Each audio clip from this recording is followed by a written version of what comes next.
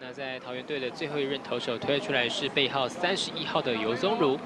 本季出赛了十五场，投了二十一局，零胜一败，领了三张老 K 的许基宏，下最近的二连胜。是的，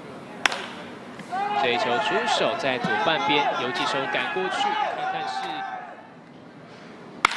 第一球就出手，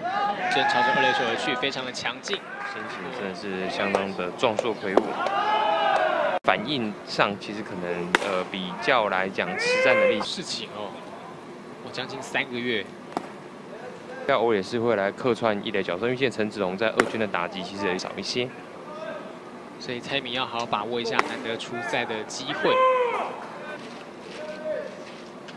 这一球用碰的方式出手，考验一下三手，三手行进间接传，没有问题。